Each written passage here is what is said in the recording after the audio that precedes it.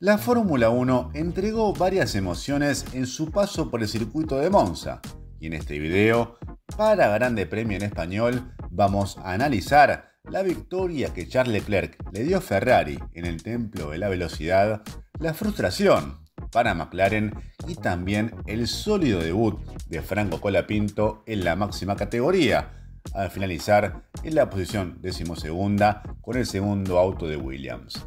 Bienvenidos.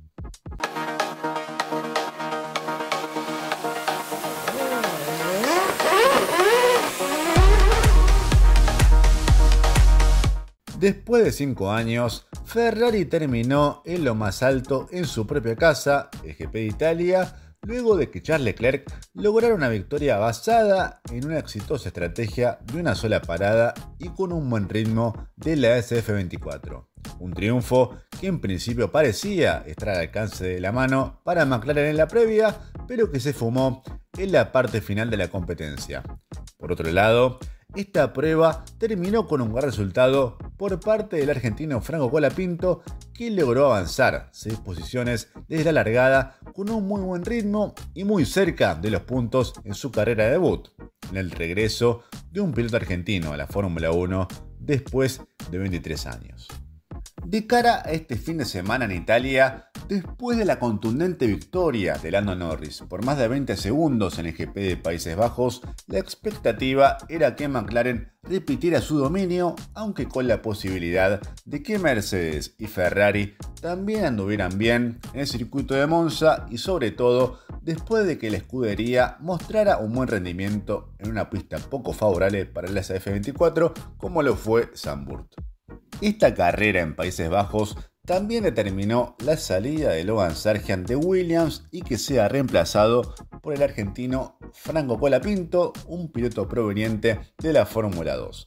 Y al cabo de sus primeras sesiones en la pista, el piloto bonaerense llegó a sorprender con un noveno lugar en la práctica 3 y a una distancia muy pequeña en relación a su compañero Alex Albon.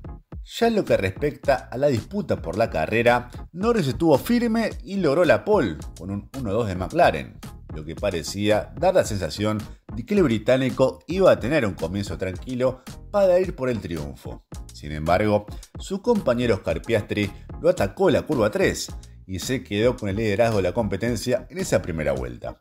Al cabo de una maniobra que no esperaba, Norris también salió mal armado a la recta y perdió el segundo lugar frente a Leclerc y una nueva frustración para el piloto del auto número 4 a la hora de mantener su ventaja inicial. A partir de ahí, el top 3 se estableció con Piastri, Leclerc y Norris hasta que comenzaron sus paradas en boxes, ya que los tres habían comenzado con el neumático medio de menor duración. De esta manera, la punta en primera instancia pasó por Sainz y después para la dupla de Red Bull, que quiso extender su primer stint portando la goma dura, aunque sin resultados por el excesivo desgaste producto de un mal balance del RB20. Una vez que todos pararon, Piastri volvió a la vanguardia con la premisa Papaya Rules, que invitaba a que hubiera una disputa por la punta entre el australiano y Norris. No obstante, Piastri impuso un fuerte ritmo sobre su compañero de equipo que no pudo alcanzarlo, mientras Leclerc hacía su negocio sin perder ritmo desde el tercer lugar y con una buena administración de sus neumáticos.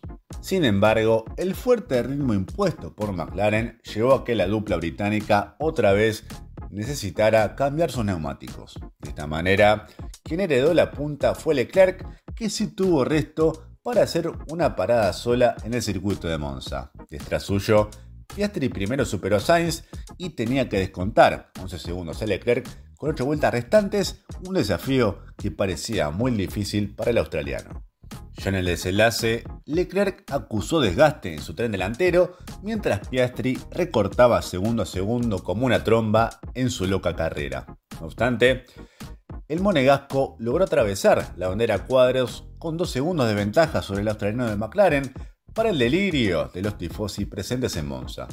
De la vereda de enfrente, la sensación en el equipo Papaya era que la carrera se les había escapado de las manos con caras largas en el podio para el escolta Piastri y el tercero Norris. Con este panorama, la alegría no era solo italiana, porque Colapinto también tuvo un debut auspicioso en el GP de Italia. Después de haber largado en el puesto 18, superó en las primeras vueltas a Lance Stroll y se benefició por un incidente entre Nico Hulkenberg y Yuki Tsunoda que lo hizo avanzar hasta el puesto 15.